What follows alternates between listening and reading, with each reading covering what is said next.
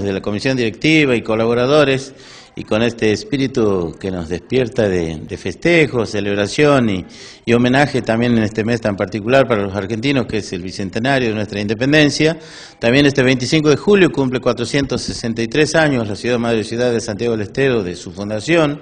por lo cual este, se ha ganado eh, el, nombre de Madre de Ciudades y nosotros como centro de residentes siempre estamos realizando nuestras actividades y en esta ocasión,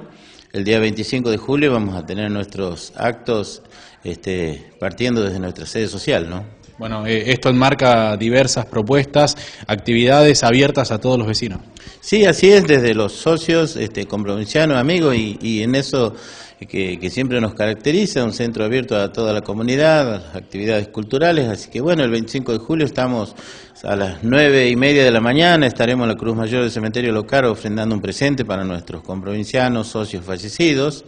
en honor y recordación. Después, bueno, 10 de la mañana del mismo día estaremos ya en forma oficial recibiendo a los invitados especiales y a todos los, los amigos y comprovincianos en nuestra sede social en Perón 54 para que, bueno, compartamos asimismo también el tradicional desayuno que acostumbramos a compartir para después desarrollar ya la parte protocolar del acto, culminando el mismo con una exposición artística de nuestros amigos del centro de residentes, y, bueno, de ahí ya como para ir este, preparándonos, el profesor Hugo Ledesma, que es integrante de la comisión directiva, va a dictar el día martes 27, y martes 26, perdón, y el jueves 28, desde las 19.30 horas, 19 horas hasta las 20.30, los dos días, un taller de danza folclórica santiagueñas.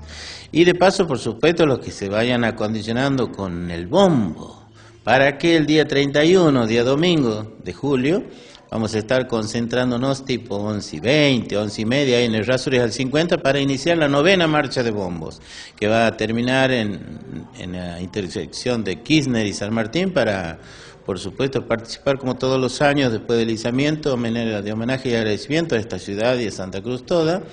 con el canto y baile de chacareras. Eh, Luis, esta marcha de bombos tradicional ya en nuestra ciudad se replica en distintos puntos del país. Sí, así es, naciendo esto en eso que, que por, por una iniciativa del Gordo Misoguchi, Tere Castronovo y el Indio Froilán allá por aquellos años que Santiago del Estero celebraba sus 450 años y en la idea de juntar 450 bombos y que fueron como 500, hoy en día ellos están en la decimacuarta edición que fue el sábado y bueno, nosotros por la novena. Ahí vamos, no nos perdemos ninguna, con nieve, con frío, con viento, como caracteriza este lugar, ahí vamos con la misma. Así que en este caso, bueno, la invitación es para todo aquel que tenga un bombo, una caja vidalera, ahí vaya que en ritmo de chacarera enseguida lo va a aprender. Y de paso, bueno, como siempre digo, engrasando las tabos, preparándolas también ya para el, el, acto final, también algo tradicional que tenemos que es el encuentro folclórico aniversario y que este año va a ser el día sábado 6 de agosto. Eh, finalmente, aquel que se quiera contactar con ustedes, eh, bueno, por parte de la organización, para hacer alguna propuesta, para sumarse simplemente a los festejos, ¿cómo lo puede hacer?